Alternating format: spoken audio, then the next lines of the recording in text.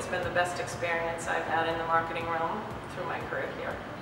The amount of attention is uh, that you get and the ability to talk to top level people is because of the personal nature that uh, you receive. You can always talk to the top man in the company or anyone in between and they really care about your product. They don't just try to sell you um, on anything. They're really concerned on whether you have success.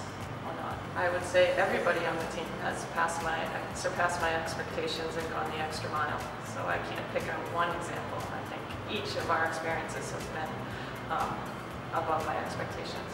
Being able to see the projections on the ROI report um, allows me to set my expectations on um, what I can expect uh, going forward with the campaign and that really pre-frames it when I have to present it to owners and also uh, to myself so we know whether our results coming in are coming close to that. The direct mail has been the main channel that we've worked with you from the beginning.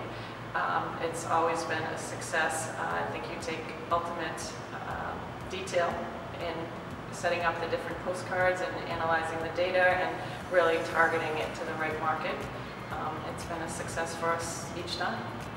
I think, again, the campaigns for the social engagement have been very thorough and very targeted.